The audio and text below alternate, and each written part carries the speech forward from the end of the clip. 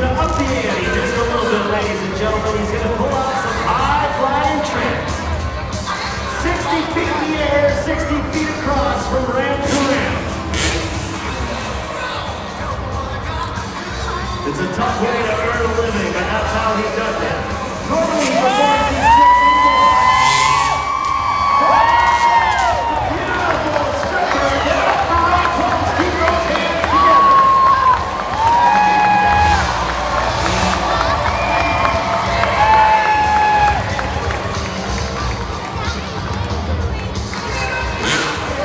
This gentleman has been Canada's representative in the X Games for the last three years running, doing very, very well.